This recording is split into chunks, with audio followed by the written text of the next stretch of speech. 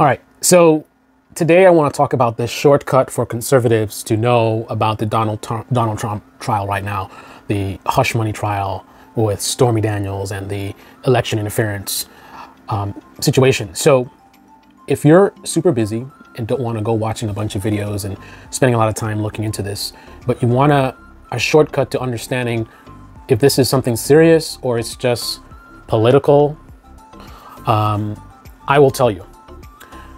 So, and I, I want to qualify this before I continue. I have not been paying attention to right wing media. I don't really know what they've been doing. I think I happen to at least look at a single title of a video from Tim Pool um, that I saw today or yesterday. That's about it. So I haven't looked at the usual suspects.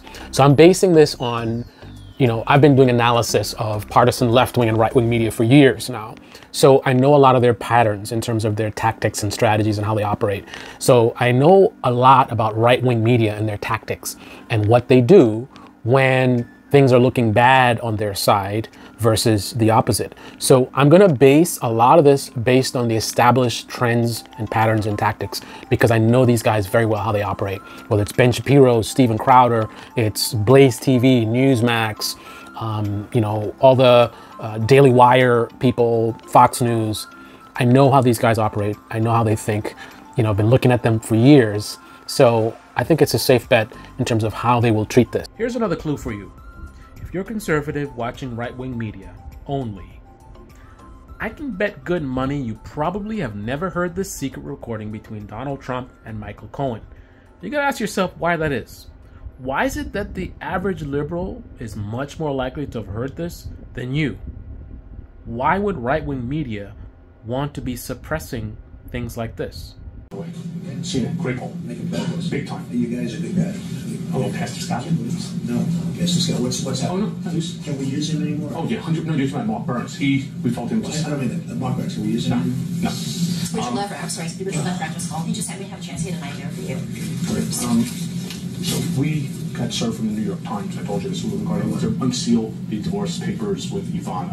Um, we're fighting it. Uh, Kasowitz is going to. You'll to never be able to get that. Never, never. Kasowitz says they'll ever be. They don't have a. Give me a dog, please. They don't have a legitimate purpose. So a woman that doesn't want to correct. So You've been handling it. yes, and it's all It's been going on for for about two, three weeks now. All you have to do is delay it for. even after that, it's not going to ever be opened. There's no, there's no purpose for it. Um, told you about Charleston. Um, I need to open up a company for the transfer of all of that info regarding our friend David. You know, so that I'm going to do that right away. I've actually come up and I've spoken, and I've spoken to Allen Weisselberg about how to set the whole thing up uh, with funding. That, yes, um, and it's all the stuff, all the stuff because you know you never know where that company, you never know what he's going to be. Gets it Correct. So I'm, I'm all over that. And I spoke to Alan about it when it comes time for the financing, which will be, listen, What financing? we'll have to pay yourself. I'll pay for it. No, no, no, no, no, no. I got, no, no, no. So here's the shortcut. If you want to know whether this is a real deal, whether Trump really did something wrong, whether this case should be a thing or not be a thing, whether they have the goods on Trump or not, or it's just fabricated or whatever, it's a witch hunt. The easy way to do that is if if this case is not legit, if it's purely partisan, if it's corrupt, if it is something that is, um, you know, this weaponization of the DOJ and, and they just like, you know, the, the equivalent of, you know, me getting pulled over for speeding and then somehow they magically find marijuana in my back seat or something like that, right? If you want to know if it's that kind of a thing, this is what would happen if that were true, right? If this is all bogus, right? And they don't have the goods on Trump, right? Knowing how these guys operate, this is what you would see. You will see a ton of right wing media posting a ton of videos about the trial, going into the substance of the trial, exposing, you know, so many, you know, on a daily basis, you know, how much nonsense is going on, right? They will very clearly state the strongest arguments, right? The strongest arguments in support of what's happening and be able to, to break it apart on a daily basis in terms of, you know, how everything is nonsense and this is a lie and someone said blah, blah, blah, right? This would be absolutely just gold if this was all bogus because them exposing how bogus it is and just following it on a daily basis, calling it out and getting into the substance of it, right? So they would tell you the substance of the claim in terms of what they're pushing in in uh, in court, right? And breaking it down how it's nonsense, right? And not just saying it's nonsense, you know, giving you the substance. You know, they made a claim that such and such said something, but they didn't present any evidence that that the person said it, right? Or, you know, the only witness that they were able to present is a known con man who has had a track record of lying all the time. And not only that is an issue, but the fact that this is the only witness, right? They will be absolutely all over this. You're going to see multiple videos from Ben Shapiro, from Steven Crowder, from Blaze TV, Tim Pool, all the usual suspects. Multiple, multiple videos. They will be all over this because that will get a ton of views, right? If this is, is if it is truly a witch hunt, it is absolutely, you would be a fool not to be on a daily basis calling it out and exposing it. And again, not just generically saying it's a witch hunt, right? Explaining why it's a witch hunt with attacking the substance, right? So again, you'd want to talk about what the actual arguments being made. So for example, um, well, let's leave it at that. So that's what it would look like if this was all nonsense, if it was all a witch hunt, if it's all political and going after Trump. That's what you would see if you go and look at these YouTube channels. If in fact what's happening is legit, right? If they have a lot of strong evidence against Trump. If it really looks like Trump is guilty, this is what you're going to see. A lot of silence, right? There's not going to be a ton of videos talking about the trial. They may mention it, you know, in parts of long live streams somewhere in there. Oh, this uh, witch hunt with a thing in the Democrats because they don't have policies and they're trying to get rid of their political opponents. Literally echoing the exact language coming from the establishment, GOP, and Trump and his allies, right? No independent thoughts, just basically echoing all of their talking points. But you'll see that sprinkled in in the end of live streams or whatever. But generally speaking, they're not going to want to put too much attention on this. They're not going to want to do a lot of videos about this. You may actually see quite a few of these major right-wing channels who may, in the last, well, since the beginning of the trial, may have posted anywhere from zero videos to a maximum of maybe one. And then you know, they could mention it in multiple videos, but that'll be randomly at the end of a live stream or something. But making an actual video about the trial, um, either none or maybe just one video. Someone like a Ben Shapiro would definitely do a video trying to whitewash it. And again, I haven't looked at their channels, right? This is just me, so you can look and see if I'm actually correct or not. But I am basing this purely on patterns of behavior, right? Like I know Ben Shapiro and how he operates. He's definitely going to want to do a facts type video um, and he's gonna try to highlight like, oh, this is stuff, and it was a misdemeanor, and they connected it and made it a felony, and this and that and that, and uh, why did it take so many years to do it? Like, all the all the, the talking points, right? Um, he, he will spend a lot of time doing a, a, a suppose it, it'll seem like it's an in-depth video, but he's not going to want to engage a lot with the facts and the substance. Um, here and there, some little points here and there, yes, but let's put it this way: if the only thing you look at is Ben Shapiro's channel, assuming he does a video like this, you are not going to be very knowledgeable about the substance of the case, right? For some strange reason, he's not going to want to really inform you. Um, he's going to want to focus on mainly the details that that will serve to whitewash it and diminish it and kind of like hand wave it away. Ah, it's a witch hunt, right? Um, that's what you're going to see. So let's talk about the types of videos that you would see if this case is legit. If it's actually legit, not a witch hunt, if it's if it's they have the goods on Trump, then you're not going to see many videos. And when you do see videos, the videos are going to just primarily highlight on anything to diminish the substance of these cases, right? So they're going to, for the most part, be quiet about it and not have anything to say until they find uh, a talking point, right? So let's say, for example, like the time where Stormy Daniels testified and you know things got a little bit salacious, right? Um, that's something that they'll want to talk about, right? Because that's something that will serve to distract from the substance of the trial, right? Let's not talk about the substance of the trial, what, what, what they're actually saying in court.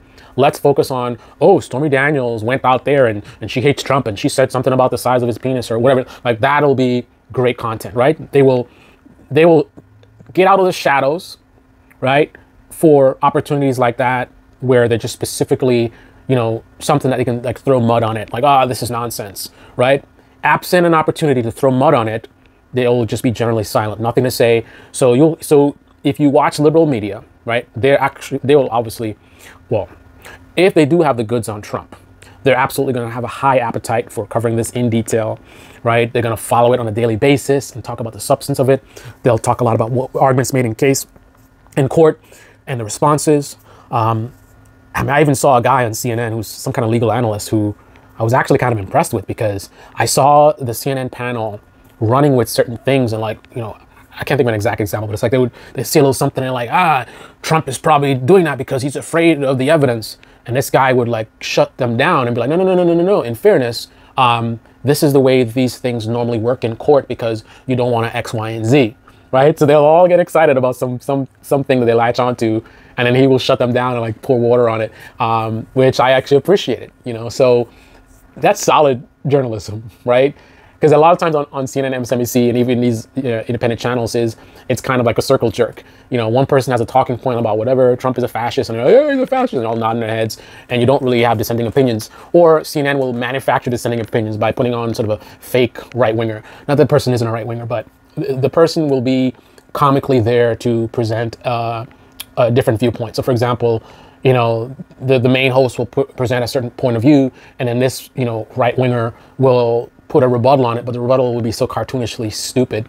It's just kind of like, I don't know, it's just like a fake rebuttal. You won't, you won't see a lot of times a strong rebuttal of substance on CNN, right? It's like they almost pretend to have a dissenting opinion. But in this case, this guy actually legitimately had a dissenting opinion. He's not just like throwing cold water on stuff just to throw cold water on it. Uh, he was he was backing this stuff up with facts. Like, no, no, this is the way it works. You guys are misinformed. You guys are uh, making assumptions. We don't know if that's why. Blah blah blah. We can't say that. So I actually appreciate that. But anyway, you're gonna see a lot of things like that in, in liberal media, um, and the, any kind of a bombshell or something that makes Trump look bad, they're going to definitely cover it for sure.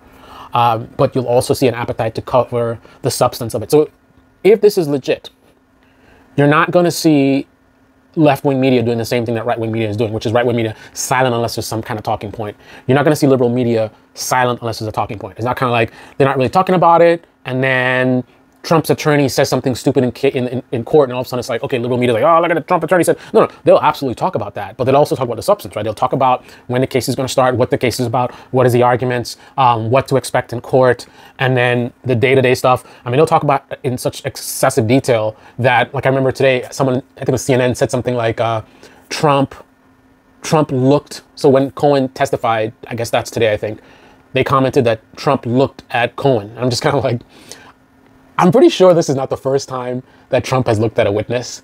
And it's almost like they're trying to manufacture something like, oh, Trump's looking at Cohen and that means blah, blah, blah.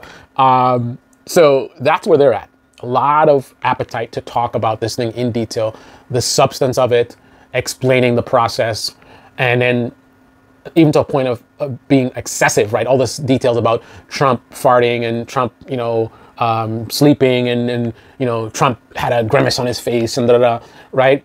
Any and everything they want to talk about it. Right wing media, the exact opposite. But that's only if this is something that is legit. If it's complete nonsense, you're going to see right wing media behaving in a similar way to the way that liberal media is. Um, in terms of they want to talk about it every single day and every single detail because the whole thing is an absolute joke, right? Um, but in reality, if it's legit, they're only going to want to highlight every little. They sit around waiting around for something to happen that kind of, oh, we could use that to say like, oh, it's nonsense or oh, they're losing or whatever it is. Otherwise, don't really say much about it, right? That is what will happen in right wing media if this is actually legit. And additionally, I just wanted to comment. Um, Cohen already went to jail for what they're going after Donald Trump for, and what he went to jail for is something that he did on behalf of Trump. And based on him, I think he took out a loan on his house or something like that. Like, he wouldn't have done that as kind of like a charity type thing, right? Trump would have definitely been the one to push him to do it. I mean, that will be something that they'll have to prove in court, and there's already been some stuff about that already. But he's already went to jail for this, and there's a lot of talk about weaponization of the DOJ. But when Trump was president, and they went after Cohen the way they did and took his phones and did the raid on him and convicted him and put him in jail. And there was some other shady stuff that went down as well. All these people talking about weaponization of the justice system had nothing to say, which is because, once again, in this country, there's a lack of integrity. There's a lack of of of um, character, right?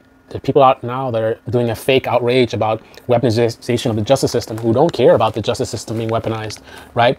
What they really care about is that their tribe is looking bad, and that's the real problem, right?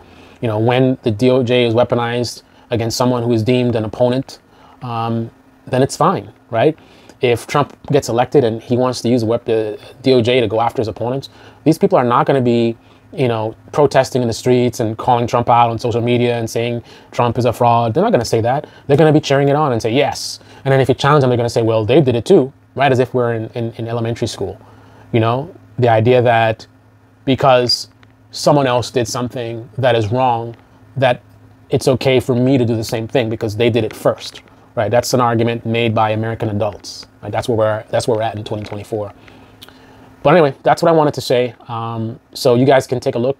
Uh, if you're a conservative, you can take a look at your favorite influencers and YouTubers and look at their behavior and see if it aligns with what I said they would do if the case is legit, or if it aligns with what I said they would do if the case is not legit. Right? And once again, if it ends up being that they're doing what I said they would do if the case is legit, consider how I was able to predict that so accurately, you know, that I didn't even have to look at their videos. Now, obviously, I could have looked at their videos and then I could be lying to you, but, you know, whatever. It is what it is. Uh, there's no way for you to know whether I'm lying or I'm not. So you just have to use your judgment and whether you think that I'm being honest with you or not, right? As a guy who doesn't make any money doing this, I'm incredibly busy. Uh, um, I got a lot of stuff on my plate. I had a family, a family friend from my childhood that recently died of cancer. Um, you know, I got a lot going on, right? For me to spend my time sitting here trying to, you know, get you guys to think and open your eyes to certain things for no money, um, which is only at my loss, right? Um, this is time that I, I, I should be doing stuff. Um, like right now, I kind of got, I'm kind of headed in a bad direction. Um, I can get myself out of this where I'm headed right now, but I'm kind of running off the tracks in a certain way in my life. Um, but that's because I'm kind of I'm human, right? And, and certain things are overwhelming for me, and I'm I'm I'm kind of hiding from you know things that I need to address. So, right, you can make your judgment. You know why someone who's dealing with stuff like that would take the time to go and talk to you about this um, in a respectful manner and breaking it down for no money. You know, when I don't really have the time for this, and I'm not a social media person.